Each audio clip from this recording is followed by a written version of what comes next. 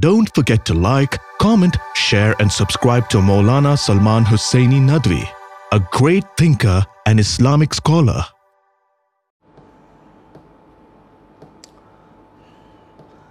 الحمد لله وكفى وسلام على عباده الذين اصطفى أما بعد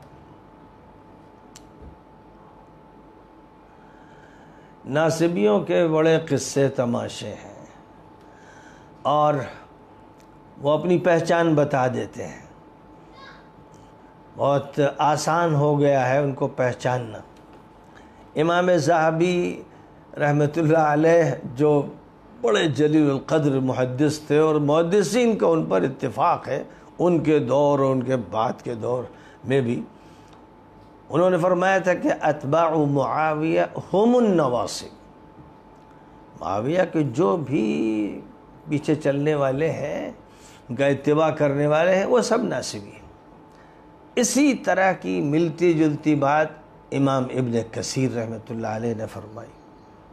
اور اسی کا یہ نتیجہ تھا کہ امام نسعی رحمۃ اللہ علیہ کو دمشق میں گھنڈوں اوباشوں نے بدماش ناصبیوں نے شہید کر دیا تھا۔ حضرت علی کے فضائل انہوں نے دمشق کی مسجد میں بیان فرمائے تھے کہ یہاں کے لوگ جاہل ہیں۔ سیدنا علی کے فضائل سے واقف نہیں ہیں۔ تو ان کے فضائل بیان کیے اور ان کی کتاب ہے خصائص علی علیہ السلام۔ حضرت علی کی خصوصیات پر زخیم کتاب ہے۔ تو انہوں نے نبی اکرم صلی اللہ علیہ وسلم کی حدیثیں بیان کی۔ فضائل علی میں اور جب سوال کیا گیا کہ معاویہ معاویہ کے فضائل بھی بیان کیجیے، کیونکہ وہاں تو ناصبی تھے۔ تو انہوں نے کہا کہ کوئی حدیث بھی اس بندے کی فضیلت میں نہیں ہے۔ امام نسعی جن کی کتاب ہر مدرسے میں پڑھائی جاتی ہے، لیکن یہ نہیں پڑھایا جاتا۔ خاص طور پر ان کی شہادت کا واقعہ بھی نہیں پڑھایا جاتا۔ کیونکہ اگر وہ واقعہ پڑھا دیا جائے گا، اس کی تفصیل ذکر کر دی جائے گی، تو ناصبی ننگے ہو جائیں گے اور ان کو پہچان لیا جائے گا۔ اس لیے کتمان علم کی جو چالاکیاں ہیں، ان میں سے ایک یہ بھی ہے کہ یہ نہیں پڑھایا جاتا کہ امام نسعی کو کن ونڈوں نے مارا اور کیوں مارا؟ شہید کر دیا۔ اور اسی طرح یہ جو سب اپنے کو حنفی حنفی کہتے ہیں، میں حنفی ہوں، فقہ حنفی پڑھ رہا ہوں، میں حنفی فقہ کا مقلد ہوں۔ یہ مجرم جب ناصبی ہو جاتے ہیں تو یہ نہیں بتاتے کہ امام ابو حنیفہ کے سر پر کس نے کوڑے مارے اور کیوں مارے؟ اور کیا فرمایا تھا انہوں نے امام زید علیہ السلام کے بارے میں؟ یہ نہیں بتاتے۔ یہ نہیں بتاتے کہ محمد ذوالنفس الزکیہ کے سلسلے میں کیا موقف تھا امام ابو حنیفہ کا۔ یہ باتیں طلبہ کو نہیں بتاتے۔ ان کو فکر اسی کے رہتی کہ پیشاب کرنا اور ہگنا، موتنا اور ڈھیلا لینا۔ اور عید و نفاس نفاس پڑھا دیں، بس اس کو پڑھا دیں، طہارت پڑھا دیں، کچھ اور مسائل پڑھا دیں۔ لیکن جو اصل موقف ہوتا ہے، جس سے طے ہوتا ہے کہ کون کس کے ساتھ ہے اور کون سا فریق ہے، اس کو چھپاتے ہیں کتمان علم کے مجرم، جن کے منہ میں لگام لگائی جائے گی آگ کی۔ بہرحال اس امت میں وہ بھی ہیں خبیص الفطرت دنی الفطرت لوگ جو یزید جیسے ملون کا بھی دفاع کرتے ہیں۔ اور اس دفاع کے لیے وہ ایک چھوٹی حدیث استعمال کرتے ہیں۔ یعنی ایک ایسی حدیث کا حوالہ دیتے ہیں جس کا یزید کے ساتھ نہ سر نہ پیر۔ لیکن اتنے مشاق ہوتے ہیں، یہ ناصبی ایسے جھوٹے ہوتے ہیں اور اسی کے ساتھ ساتھ خود لانت ان میں سرایت کر جاتی۔ ہے اس لیے اسی فکر میں رہتے ہیں کہ یہ کیسے باپ بیٹے کو بچا لیں۔ نبی جن کے بارے میں کہیں کہ وہ جہنم کے دائی ہیں اور ان کی حکومت کاٹ کھانے والی ہے، یہ ان کی صفائی پیش کرنے میں جان لڑاتے ہیں۔ اور نبی کی حدیثوں سے ثابت ہو جائے اور اقوال صحابہ سے، اور اقوال تابعین سے، اور ائمہ مجتہدین سے، اور محدثین سے کہ یزید ملعون تھا بدماش تھا، مجرم تھا۔ اور اس کو بچانے کی فکر کرتے ہیں، جس نے ایک طرف تو اہل بیت کو ذبح کر دیا، دوسری طرف مدینہ منورہ کو تاراج کر دیا اور اپنی فوجوں کے ذریعے مسجد نبوی کو گھوڑوں کی لید سے اور گدھوں اور خچروں کی لید سے گندہ کر دیا۔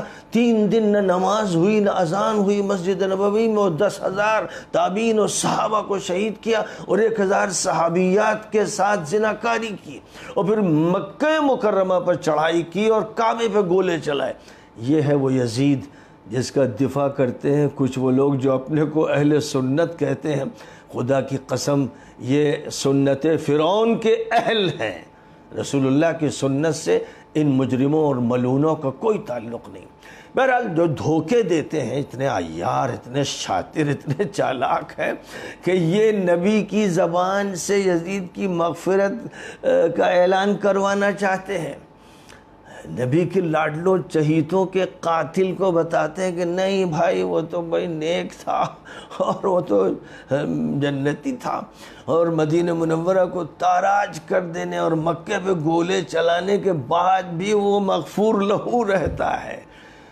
سبحان اللہ، بدبختوں اور منحوس انسانوں کی حرکتیں کیسی کیسی ہوتی ہیں؟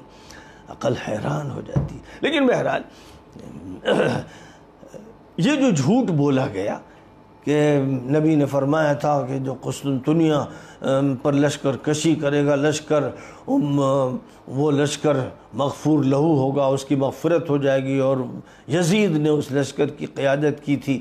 لہٰذا یزید کی مغفرت کی بات فرمائی گئی۔ ہے یہ بولتے ہیں اور ظاہر ہے کہ بیچارے وہ طلبہ جن کے اندر صلاحیت نہیں کہ وہ تحقیقات کر لیں۔ اور رہ گئے وہ عوام جو مثل انعام کے ہوتے ہیں، وہ کہاں سمجھ سکتے ہیں؟ ان کو بتاتے ہیں، سمجھاتے ہیں، جھوٹ بولتے ہیں، جھوٹی حدیثیں سناتے ہیں۔ اور اس کے بعد اپنے ناسبی ہونے کا تذکرہ کرتے ہیں فخر کے ساتھ، کیونکہ وہ یہی چاہتے ہیں کہ فرشتے ان کو کہیں کہ یہ دشمنان نبی ہیں، یہ دشمنان اہل بیت ہیں۔ اور یہ وہ ہیں جن پر اللہ و فرشتوں کی لانت ہے۔ وہ چاہتے ہیں، ان کے ساتھ یہی ہو رہا ہے۔ تو بہرحال ایک بہت بڑا جھوٹ، ایک بہت بڑا جھوٹ بولا گیا کہ ایک لشکر کے بارے میں حضور نے فرمایا تھا کہ وہ قسطنطنیہ پر چڑھائی کرے گا اور اس کی مغفرت ہوگی اور پھر اس کے بعد دعویٰ کرتے ہیں۔ تاریخ دانی، تاریخ سے واقفیت کا کمال دیکھیے، پھر دعویٰ کرتے ہیں۔ قسطنطنیہ پر یزید لشکر لے کر گیا تھا۔ اور اس لیے وہ مغفرت کا مستحق ہے، وعدہ ہے۔ اللہ کی نبی نے فرمایا۔ تو بہرحال، نبی اکرم صلی اللہ علیہ وسلم نے جس لشکر کے بارے میں یہ فرمایا تھا کہ ان کو اللہ جنت عطا فرمائے گا، وہ وہ لشکر ہے۔ جس کے بارے میں یہ فرمایا تھا کہ قیصر کے شہر پر جو پہلا لشکر حمل آور ہوگا، اللہ تعالیٰ ان کو مغفرت سے نوازے گا۔ یہ نبی پاک علیہ السلاۃ والسلام کے الفاظ ہیں حدیث کے، جو بخاری میں کتاب الجہادی و سیر میں آئے ہیں۔ اور باب ما قیل فی قتال الروم کے عنوان سے امام بخاری رحمۃ اللہ علیہ نے اس حدیث کا ذکر کیا ہے۔ جل نمبر تین دیکھیے اور دس سو انہتر نمبر کی حدیث دیکھیے، دس سو انہتر نمبر کا صفحہ اور حدیث کا نمبر ہے دو ہزار سات سو چھاسٹھ۔ وہ حدیث یہ ہے، اول جیش من امتی یغزون البحر قد اوجبوا قالت ام حرام، قلت یا رسول اللہ، انا فیہم؟ قال انت فیہم۔ ثم قال النبي صلى الله عليه وسلم أول جيش من أمتي يغزون مدينة قيصر مغفور لهم. فقلت أنا فيهم يا رسول الله؟ قال لا.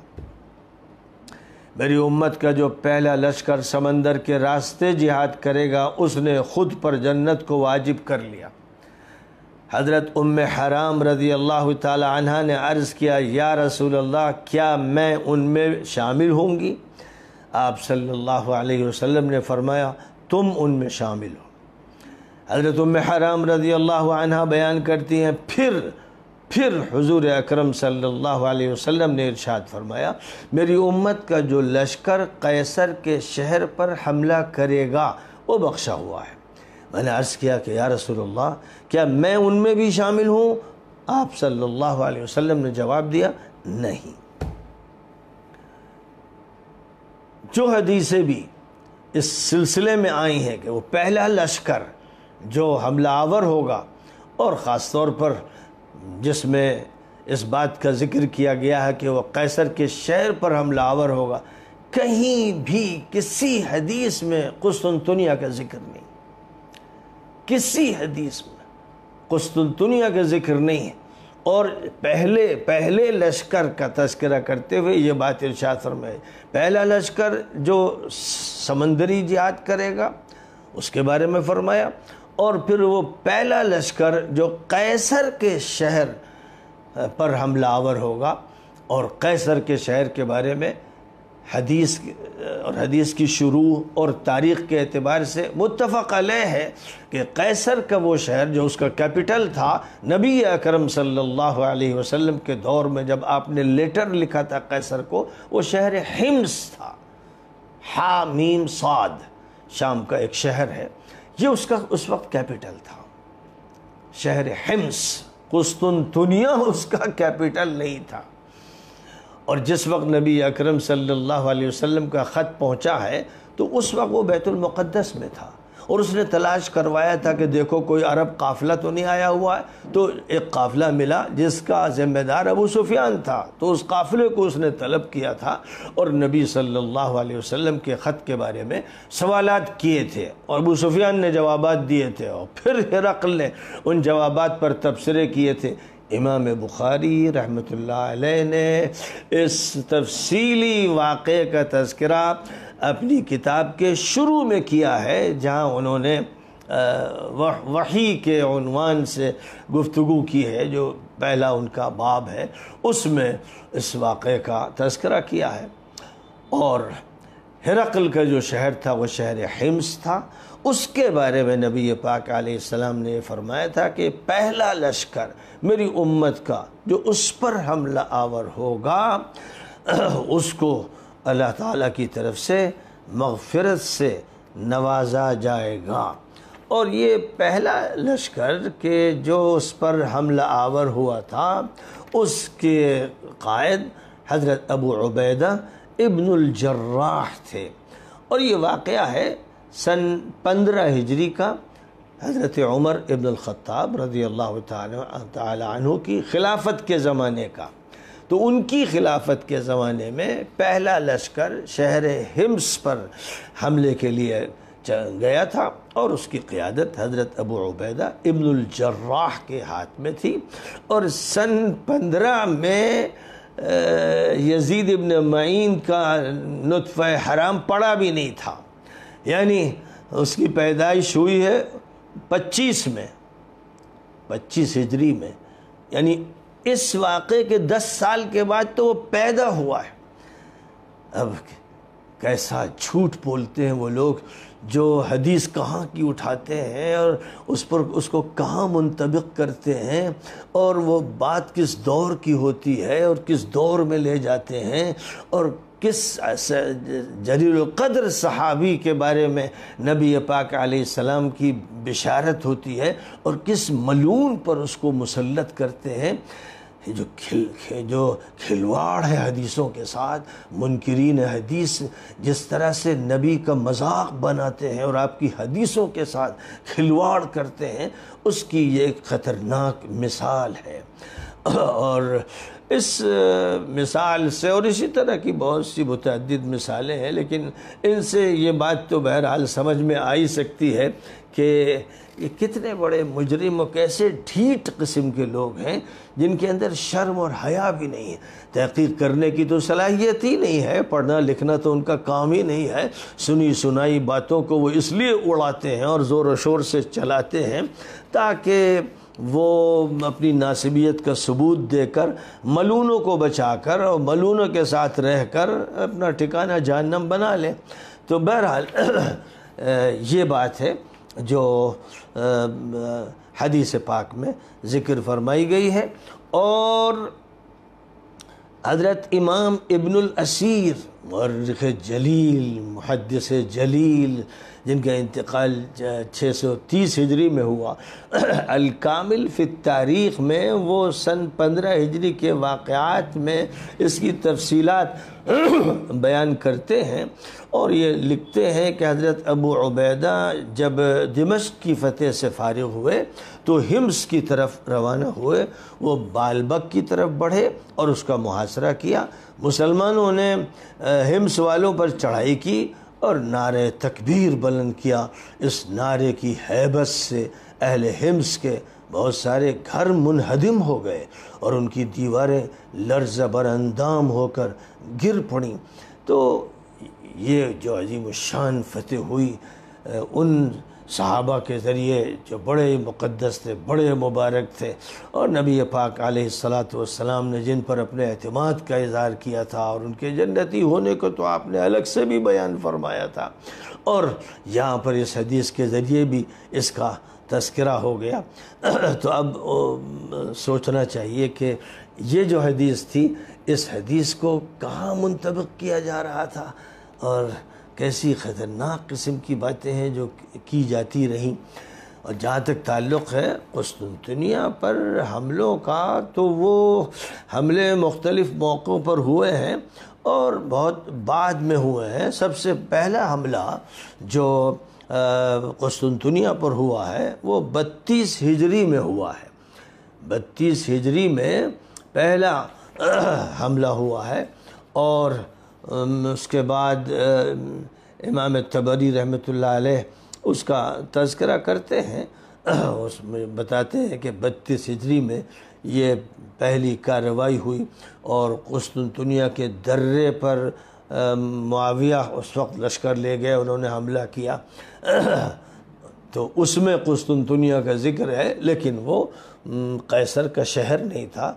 قیصر کا جو شہر تھا یعنی ہمس شہر، اس پر جو پہلی کارروائی ہوئی ہے، وہ حضرت ابو عبیدہ ابن الجراح کے ذریعے ہوئی ہے۔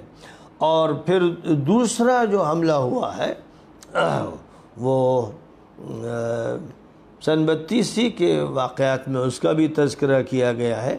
پھر تیسرا حملہ علامہ زہابی نے اس کا تذکرہ کیا ہے۔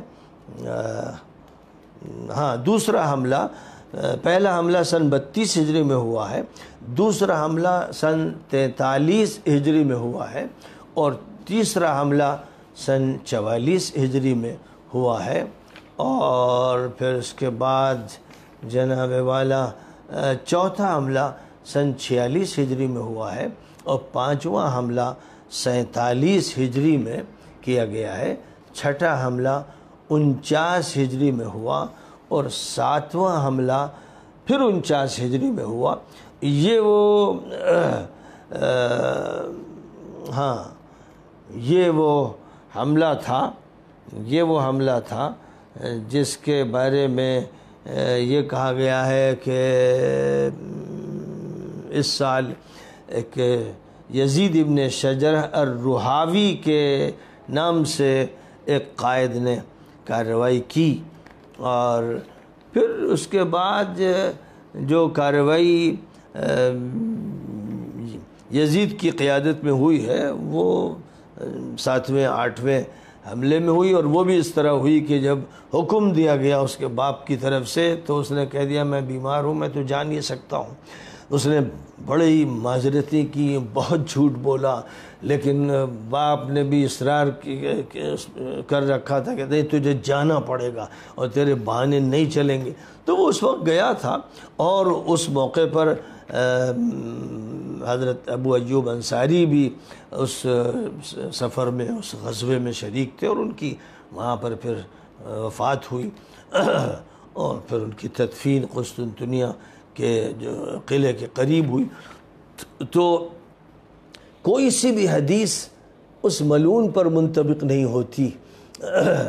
نہ وہ حدیث کے جس میں حضور نے فرمایا تھا کہ قیصر کے شہر پر جو پہلا حملہ ہوگا، اس کی قیادت حضرت، جیسا بتایا گیا کہ اس کی قیادت جو تھی، وہ حضرت ابو عبیدہ ابن الجراح کے ہاتھ میں تھی اور ان کا مقام سبھی جانتے ہیں کہ بہت ہی بلند و بالا ہے۔ تو ان کے لیے جو بات فرمائی گئی اور ظاہر ہے کہ جو لوگ ان کے ساتھ شریک تھے، سبھی کبار صحابہ تھے۔ تو اللہ تعالیٰ کی طرف سے یہ خوشخبری دے دی گئی تھی کہ ان کی مغفرت ہوگی۔ اور قسطنطنیہ کا جو پہلا حملہ ہوا، اس میں تو اس کا وجود بھی نہیں ہوا تھا۔ اور بہرحال وجود تھا بھی اگر چھبیس میں اس کی پیدائش ہوئی اور بتیس میں پہلا حملہ ہوا، تو، اور فرمائیے کہ چھ سال کا تھا وہ، پانچ سال، چھ سال کا ننگ دھڑنگ پھرا کرتا ہوگا۔ اس وقت تو ظاہر ہے کہ، کوئی تصور ہی نہیں تھا۔ اور پھر جس حدیث میں یہ بات فرمائی گئی ہے کہ اس کے لوگوں کی مغفرت ہوگی۔ وہ حدیث ہمس شہر سے متعلق ہے، جس کو قیصر کے کیپٹل ہونے کی حیثیت حاصل حاصل ہے۔ اور قسطنطنیہ کے بارے میں تو وہ بات فرمائی گئی ہے یعنی جو بشارت دی گئی ہے، وہ محمد الفاتح کے بارے میں دی گئی ہے، کیونکہ اس میں یہ بات ارشاد فرمائی گئی ہے کہ ایک لشکر قسطنطنیہ کو فتح کرے گا۔ اس وہ لشکر بھی بہت بہتر ہوگا اور اس کا امیر بھی بہت بہتر ہوگا۔ ان کے بارے میں نبی پاک علیہ السلام والسلام نے بڑے بلند الفاظ ارشاد فرمائے ہیں اور ان کا جو انتباق ہوتا ہے وہ محمد الفاتح پر ہوتا ہے۔ فرمایا تھا، نبی پاک علیہ السلام والسلام نے، لتفتحن القسطنطينية قسطنطينية فلنعم الأمير أميرها۔ ولنعم الجيش ذلك الجيش۔ فرمایا تھا کہ قسطنطنیہ ضرور فتح ہوگا، اس کا امیر بہترین امیر ہوگا اور وہ لشکر بہترین لشکر ہوگا۔ تو یہ در حقیقت محمد الفاتح کے دور میں ہوا، چودہ سو اکیاسی عیسوی میں ان کا انتقال ہوا وہ دنیا سے رخصت ہوئے اور اللہ تعالیٰ نے ان سے یہ عظیم کام لیا اور ان کی فتح کا جشن منایا جاتا ہے۔ تو در حقیقت ان کی پیدائش چھبیس رجب آٹھ سو تینتیس کی ہے اور ہجری کے اعتبار سے چودہ سو انتیس ان کو اللہ تعالیٰ نے یہ عزت عطا فرمائی۔ یہ توفیق عطا فرمائی اور ان کے ذریعے سے قسطنطنیہ فتح ہوا۔ تو اس کا نام اسلامبول رکھا گیا۔ بعد میں پھر وہ استنبول ہو گیا۔ لیکن بہرحال یہ کارنامہ عثمانی سلاطین میں محمد الفاتح کے ذریعے انجام پایا۔ تو جو قسطنطنیہ کی فتح ہے، کی فضیلت ہے اور اس کے بارے میں جو بشارت ہے، وہ عثمانی سلطان محمد الفاتح کو حاصل ہے۔ اور شہر ہمس یعنی جو ہرقل کا کیپٹل تھا، اس کو فتح کرنے کی جو توفیق ملی، وہ حضرت ابو عبیدہ ابن الجراح کو ملی۔ بہرحال، یزید پر اس حدیث کو منطبق وہی لوگ کرتے ہیں جو تاریخ کا مذاق اڑاتے ہیں، حدیث کے ساتھ کھلواڑ کرتے ہیں، جھوٹ بولتے ہیں۔ اور جھوٹ کیوں نہ بولیں؟ کیونکہ جس کو وہ بچانا چاہتے ہیں، وہاں وہاں تو جھوٹ کا ہی کاروبار تھا۔ مکر و فریب اور ظلم اور اناد اور وہ جرائم جو دنیا میں کسی فرعون نے نہیں کیے۔ ابرہا کا لشکر بھی کعبے پر گولے نہیں چلا سکا۔ ابابیل پرندوں کے کنکروں سے وہی تباہ ہو گیا۔ لیکن یہاں اللہ نے ڈھیل دی ان مجرموں کو، بنی امیہ کہ یہ خبیص مجرم و شیطان۔ ان کو ڈھیل دی گئی دو مرتبہ۔ ایک مرتبہ یزید کے دور میں کعبے پہ گولے برسائے گئے صحابہ پر۔ قیادت قیادت کر رہے تھے عبداللہ ابن زبیر صحابی، جو صحابہ صحابہ کے لیے مرتے ہیں۔ اتنے مردود ہیں، اتنے جھوٹے مکار کہ عبداللہ ابن زبیر کو جن لوگوں نے سولی پہ چڑھا دیا اور پھر جن لوگوں نے انہیں مارنے کے لیے کعبے پہ گولے برسائے، وہ ان کے نزدیک امیر المومنین ہے اور جس کا حال یہ تھا کہ اس نے سینکڑوں صحابہ اور تابعین کو کاٹ کے رکھ دیا گاجر مولی کی طرح اور جس نے سیدنا علی بن ابی طالب کو، امیر المومنین خلیفہ راشد کو گالیاں ہی گالیاں بکیں اور گالیاں بکوائیں اور حضرت فاطمہ حسن اور حضرت حسن، حضرت حسین کا کلیجہ چھلنی کر دیا، جس نے یہ سب کیا۔ وہ ان کے نزدیک امیر المومنین ہے، اس کو بڑے بڑے القاب سے یاد کرتے ہیں۔ تو اس طرح سے یہ اپنی پہچان کروا دیتے ہیں کہ بڑے شقی، بدبخت ناصبی ہیں۔ اس امت کے یہ مجرم ہیں جنہوں نے ہر طرح کے جرائم کے دروازے کھولے۔ وآخر دعوانا ان الحمدللہ رب العالمين